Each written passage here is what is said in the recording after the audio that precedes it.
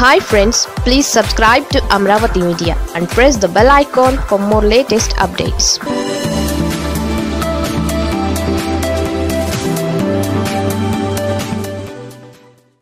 ప్రత్యేక హోదాకు కేంద్రం గ్రీన్ సిగ్నల్. జగన్కు అతిపెద్ద పొలిటికల్ రిలీఫ్. కేంద్రంలో కదలిక వచ్చింది. తెలుగు రాష్ట్రాల సమస్యలు డిమాండ్లపైన చర్చలకు నిర్ణయించింది. తెలుగు రాష్ట్రాల విభజన సమస్యలపైన కేంద్రం దృష్టి పెట్టింది. అందులో భాగంగా కీలక సమావేశానికి ముహూర్తం ఖరారు చేసింది. రెండు రాష్ట్ర ప్రభుత్వాలకు సమాచారం ఇచ్చింది. రెండు రాష్ట్రాలకు చెందిన ఎంపీలు తాజాగా పార్లమెంట్ సమావేశాల్లోనూ విభజన అంశాల పరిష్కారానికి చర్యలు తీసుకోవాలని కేంద్రం పైన ఒత్తిడి తెచ్చారు.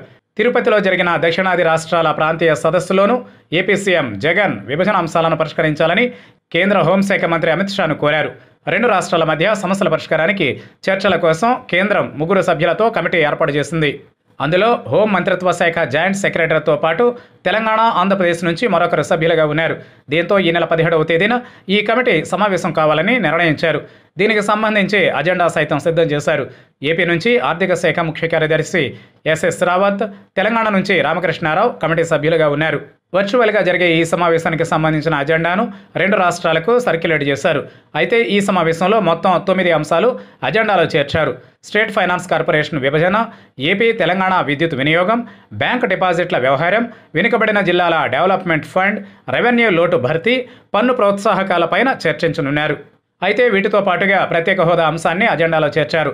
రెండు వేల పద్నాలుగులో ఏపీ విభజన సమయంలో పార్లమెంట్లో రాజ్యసభ సాక్షిగా నాటి ప్రధాని మన్మోహన్ ఏపీకి ప్రత్యేక హోదా హామీ ఇచ్చారు.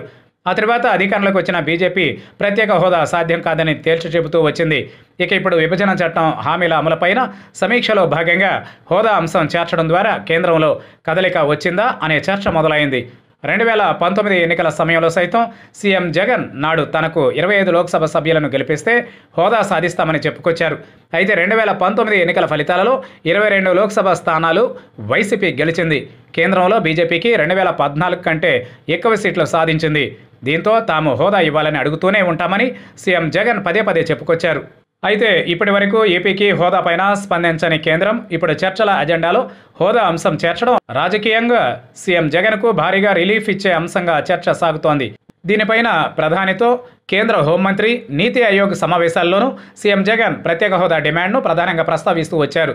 ఏపీ బీజేపీ నేతలు మాత్రం ప్రత్యేక హోదా ముగిసిన అధ్యాయం అంటూ గట్టిగా చెబుతున్నారు. ఇప్పుడు కేంద్ర హోంశాఖ చర్చల్లో హోదా అంశం చేర్చడం ద్వారా ఏపీ మరింత బలంగా కేంద్రం ఇచ్చిన హామీని నిలబెట్టుకోవాలనే డిమాండ్తో తమ వాదన వినిపించేందుకు సిద్ధమవుతోంది. ఇప్పుడు తిరిగి ప్రత్యేక హోదా అంశం ఈ సమావేశంలోనూ అటు రాజకీయంగానూ తిరిగి హాట్ టాపిక్గా మారే అవకాశం కనిపిస్తోంది. దీంతో ఇప్పుడు ప్రత్యేక హోదా అంశం పైన కేంద్రం మనసు మార్చుకుంటుందా?